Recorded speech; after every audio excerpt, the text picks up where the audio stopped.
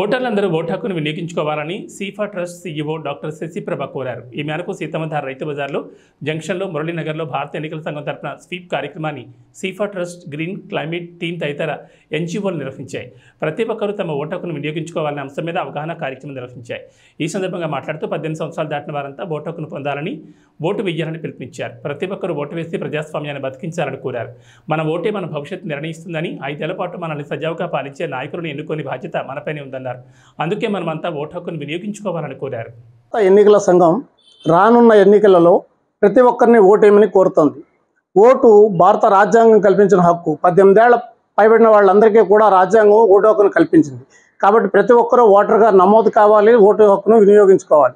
తమకు ఇష్టమైన నాయకులు పోటీలో లేకుంటే నోటా అంటే నన్ ఆఫ్ ది అబో పైన పేర్కొన్న వాళ్ళు ఎవరు కాదు అనే ఓటు కూడా ఎన్నికల సంఘం మనకి ఇచ్చింది కాబట్టి ప్రతి ఒక్కరూ ఖచ్చితంగా ఈ ఎన్నికల్ని ఉపయోగించుకోవాలి ఈ ఎన్నికల్లో ఓటేయాలని కోరుతున్నాం.